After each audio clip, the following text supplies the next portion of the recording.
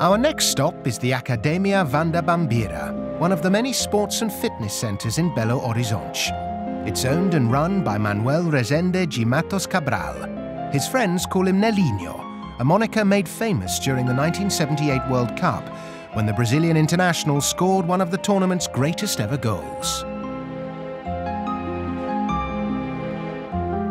Born in Rio de Janeiro, Nelinho has long since made Belo his home, and he spent most of his playing career with the city's most successful club, Cruzeiro.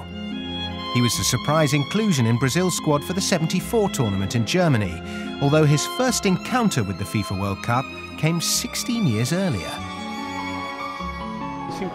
I still remember 58. I was eight years old, I lived in Olaria, and the World Cup was being broadcast on the radio. I remember the commentator's voice would come and go.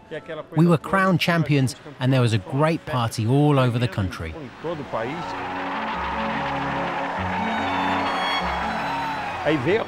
Then came the 1970 World Cup, which was broadcast on television.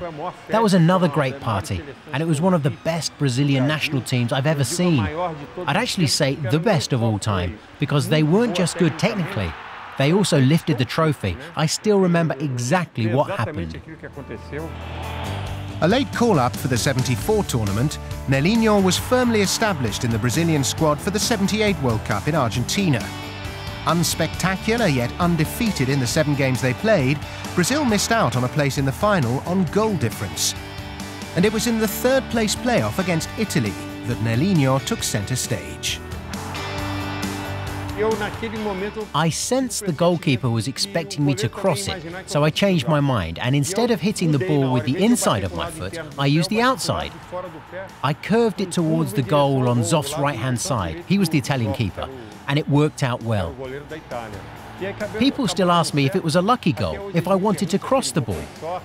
I always have to explain that I didn't cross the ball. If I had done, I would have used my instep. It's a goal that is still talked about today, and it's obviously something I have fond memories of. The curtain came down on his international career a couple of years later, but Nelinho hit the headlines again domestically when he swapped Cruzeiro for their cross-city rivals Atlético Mineiro in 1982. The Cruzeiro directors thought I was finished, so they decided to sell me to Atletico. They wanted me to go there because they believed I could no longer play, that I was a negative leader, and that I would upset the atmosphere at Atletico. Far from upsetting the atmosphere, Nelinho inspired Atletico to three state championships in his five years at the club. He eventually retired aged 37 and now, 24 years later, he's very much looking forward to yet another World Cup adventure. It's very exciting because we all know what a great event and a great party the World Cup is for everybody. As a player, I've witnessed this in other countries, and as a supporter, I've experienced the party it creates here in Brazil. You can just imagine what it's going to be like hosting a World Cup in our own country but it's a huge responsibility. And it's not just about having a good World Cup off the pitch. For us as supporters, we also need the Brazilian team to have a good tournament on the pitch. And a spectacular goal or two wouldn't go amiss.